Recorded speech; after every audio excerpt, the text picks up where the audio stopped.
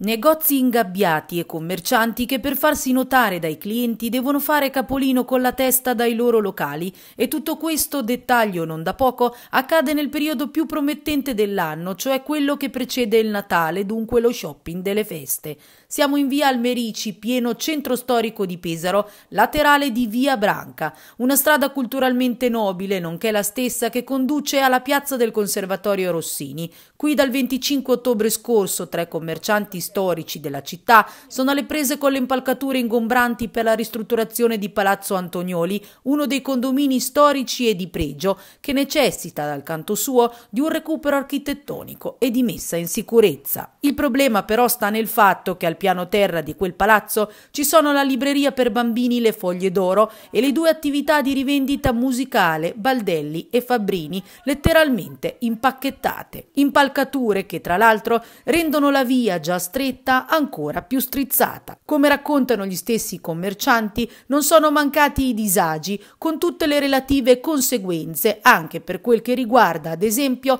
gli addobbi natalizi che quest'anno da parte loro non potranno essere allestiti per via del cantiere. Essendo solo i negozi sotto, insomma, in, sotto il palazzo non abbiamo avuto nessuna eh, voce in capitolo, quando l'abbiamo saputo gentilmente l'impresa è venuta a avvisarci, ma per fortuna l'impresa che ci ha avvisato,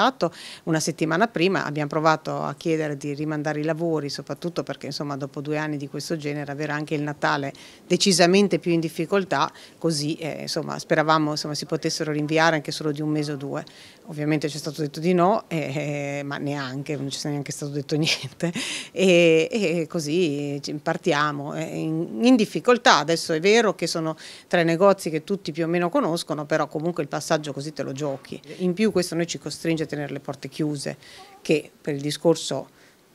Covid insomma, ci mette, a me mette un po' di difficoltà, cioè, l'anno scorso noi ci, penso che in parte ci siamo salvati anche perché abbiamo potuto tenere le porte sempre aperte, abbiamo i clienti che devono aspettare fuori, aspettare fuori con una porta chiusa insomma, è diverso che aspettare fuori con una porta aperta, in più sotto i lavori, insomma io ovvio che sono preoccupata, però eh, di necessità virtù perché tanto non ci potremo fare niente, non possiamo addobbare niente, le toglieranno intorno al 23 dicembre, quindi vuol dire praticamente rimanere gli ultimi due giorni senza addobbi anche tutto il periodo della Befana senza un addobbo e senza la possibilità di farli. Con questo fatto penso anche del, mm, so, dei bonus che ci sono ora.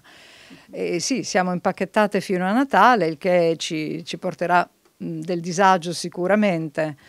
L'impresa sta lavorando bene perché ho visto anche questa mattina hanno dovuto cominciare a so, scalcinare i punti più brutti, e puliscono subito, ci dovrebbe essere gente in circolazione. Adesso vediamo, l'unica cosa se eh, riuscissimo magari a far spostare la data del, dello smontaggio dell'impalcatura, quello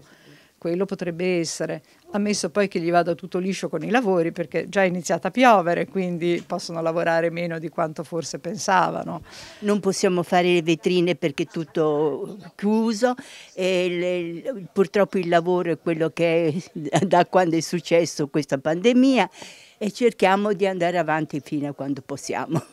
Quindi quest'anno signora anche senza addobbi? Eh, senza addobbi, per, sì, per forza.